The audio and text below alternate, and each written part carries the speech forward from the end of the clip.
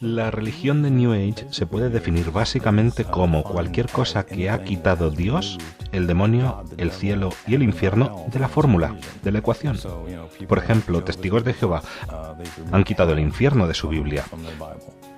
También han añadido cosas a su Biblia que no son verdad. Budistas los budistas han quitado las cuatro cosas. Hay cuatro tipos de budismo. Uno de ellos tiene un tipo de cielo donde te vas a reencarnar y luego vuelves como otra cosa. Entonces, estas cosas claramente son no bíblicas. Cosas como Yoga, por ejemplo. Muchos dicen, bueno, solo estoy haciendo estiramientos. Entonces haz solo estiramientos y no vayas a una clase de yoga.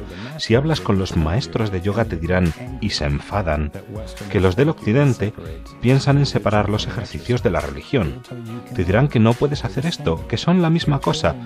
Tú estás copiando la postura de un dios hindú. ¿Qué piensas que es un dios hindú? Ya en el principio dan miedo, porque un dios hindú es un demonio. Tú piensas que copiando la postura, si alguien te viene y te mira, yo tengo un ejercicio genial que requiere que copies la postura de un demonio, ¿lo harías? Probablemente no.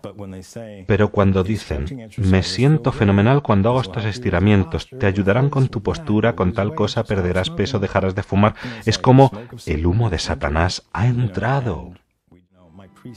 No piensas, mi sacerdote me dijo que no pasa nada o las monjas lo hacen. Hay sitios en América y por todo el mundo donde las monjas hacen reiki y lo hacen en los hospitales. Y para los que no lo saben, el Reiki es magia. Mientras alguien se hace un maestro de Reiki, hay cuatro niveles para subir. Mientras vas por los distintos niveles, se dibujan en tu cuerpo símbolos mágicos. Cuando llegas a ser un maestro de Reiki, se dibujan los últimos símbolos en tu cuerpo y te dan tu guía espiritual personal, que es un demonio que ahora está atado a ti. Y cada vez que practicas Reiki con otra persona estás poniendo hechizos de magia en ellos. Un hechizo de magia se define como una oración al diablo pidiendo que ate a un demonio a otra persona. Así cuando vas a practicar Reiki, él está poniendo hechizos de magia en tu cuerpo e intentando atarte a un demonio para sanarte no tiene ningún sentido.